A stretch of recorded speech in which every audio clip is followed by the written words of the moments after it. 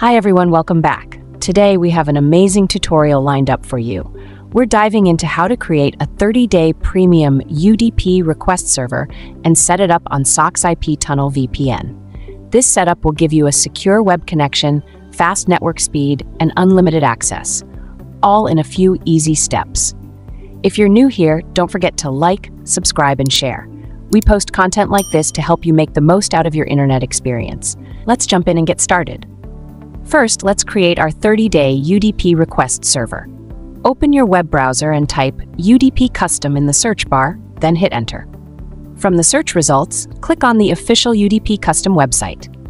This is where we'll be setting up our premium server. Once you're on the UDP Custom homepage, look for the menu button, typically located in the top corner of the screen. Click on it, and a list of options will appear. In this menu, select 30 Days UDP Premium. This will open a small window. Click on 30 Days UDP Request to create a server specifically compatible with Socks IP Tunnel VPN. You'll then be redirected to the account creation page. Here, enter a unique username and password, complete the CAPTCHA, and click Create Now. In about 10 seconds, your server details will be generated and displayed on the screen. Make sure to copy the IP address, port number, username, and password. We'll need this information shortly to set up the VPN app. Now that we have our server details, it's time to set up the Socks IP Tunnel app. If you haven't already installed it, head to the Google Play Store search for Socks IP, and install the app. Once the app is installed, open it to begin configuration. On the app's homepage, click the Settings icon to expand the menu. Select UDP Request from the list.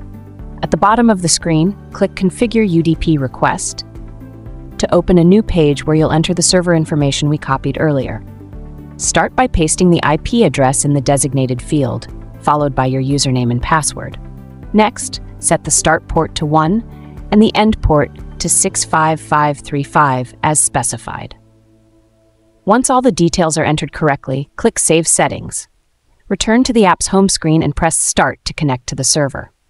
And that's it. You now have a fast, secure web connection using your premium 30-day UDP request server. And there you have it.